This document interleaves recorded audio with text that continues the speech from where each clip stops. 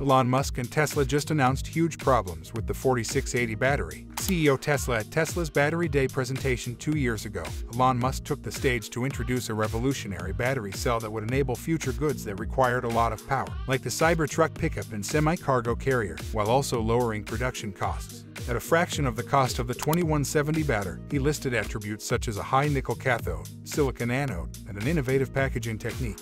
Welcome back to another exciting video from Informed Now. Today's video is Elon Musk and Tesla just announced huge problems with the 4680 battery. Before we start the video, please like, subscribe, and press the bell icon. But so far, it has only affected one of these alleged properties. Now, issues with the 4680 are approaching. What problems have Tesla and Musk been trying to solve with their 4680 batteries? Stay tuned because the answers may surprise you. Tesla is still in the early phases of its production ramp, despite Musk's 2020 promise that the company would build enough new batteries to power 1 million or more vehicles this year. Even though Musk is known for pulling off the seemingly impossible, the difficulties of constructing a new factory and developing a new way of battery manufacturing are probably too great. They are starting by making the maker of electric vehicles the most valuable automaker worldwide. Recently, Elon Musk celebrated Tesla's first quarterly profit of $1 billion. Its successful seventh quarter restates the lingering worry of impending corporate insolvency. However, on Tesla's earnings call for the second quarter, he also made known something that was typically ignored. He was stuck with two of his most beloved new inventions. These initiatives, coupled with others he outlined last fall during his Battery Day event, could reduce the cost of electric vehicle batteries to $25,000 and enable mass manufacture. 10% of the predicted reduction in battery cost will be significantly delayed and may not even happen due to the additional problems Musk made public.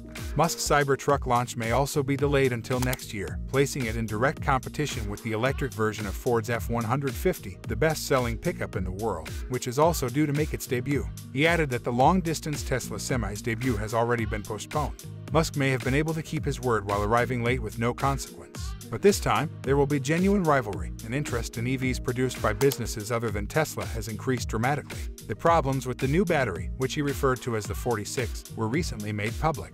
The world of batteries was interested in this massive, cylindrical cell with dimensions of 46mm by 80mm. The idea, which he refers to as tabless, entails increasing the battery cells more giant and packing and rearranging how energy is discharged from the battery because of the creative adjustment it suggests for standard lithium-ion. These solutions can eliminate the costly modules and packaging that assist in keeping the batteries from catching fire while also removing the hazardous battery heat.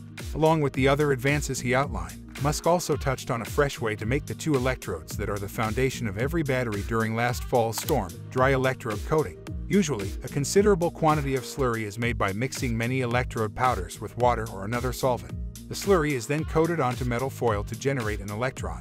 However, the electrode must be dried in huge furnaces before removing the solvent. At Battery Day, Drew Baglino Musk's battery deputy announced that the business would skip the oven and go from dry mix to coat rather than going through the solvent stage. In their subsequent explanation, Bago and Musk discussed a coating technology that may reduce the plant size required to produce electrodes, the cost of batteries by around 10%, and the amount of energy needed to create batteries by the same amount. Even though they needed to work out a few glitches, the men insisted they were making progress. At the time, Musk believed it to be a straightforward route to success. He thought it was a significant improvement.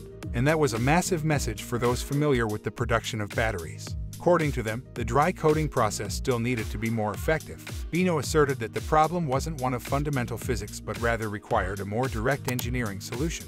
The lack of significance of dry coating was their second defense. Tesla's most significant obstacle was getting ready to offer a novel manufacturing technique called a dry electrode. The technology obtained when it acquired the California company Maxwell Technologies in 2000 allowed for the completion of this operation. The fabrication of dry electrodes omits the traditionally difficult battery manufacturing stage, including a chemical slurry. Musk freely admits that it will be challenging, but if it succeeds, it will be more affordable and efficient. Lacking a dry coating still, the 4680 might be started. But if the electrodes themselves couldn't be created, that wouldn't be conceivable, and that was the other discovery Musk and Baglino made. Do you remember how a slurry covered the metal foil sheets? In the process known as calendering, coated foils are pushed through giant rollers to create a consistent, smooth coating. Musk asserted on the call that the slurry is run through these rollers and squished like tough pizza dough. Pizza makes, like spreading out pizza dough, calendering is a standard and easy phase in producing batteries that everyone takes for granted. Musk's analogy is thus appropriate. Calendering is not, however, compatible with the 4680. Musk said that he and his team needed to prepare for it to dent the calendar rollers precisely. Musk was still determining if the problem would be rectified in time, despite Tesla having previously announced that the 4680 would be utilized for the updated version of the crossover Model Y later this year. We have a backup plan with a non-structural pack in 21.7 seconds. He said about using smaller batteries without cell-to-pack technology. The UV would not offer any of the financial reductions he claimed on Battery Day due to the backup plan. The announcement confused the small global community of battery experts who aren't used to calendaring problems. They all agreed with Hong Lin's analysis of the events on the Slack channel. For discussion of batteries specifically, Lin is a PhD candidate at Carnegie Mellon University and a former engineer for Titan Contemporary Amperex Technology in the Chinese battery business. According to Lin, the 4680 electrodes were too big and thick, which was Tesla's issue.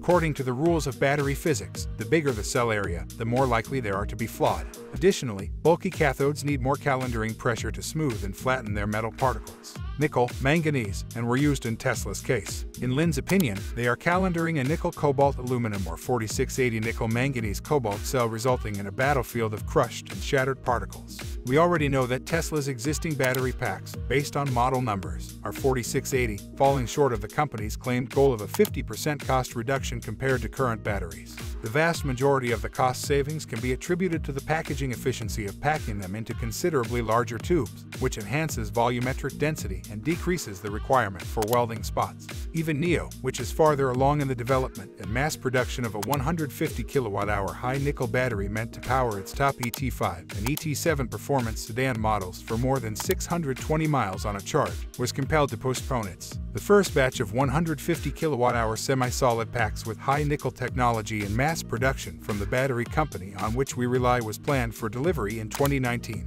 Thanks for watching the video. If you enjoyed it, please like, share, and subscribe to our channel for more exciting content.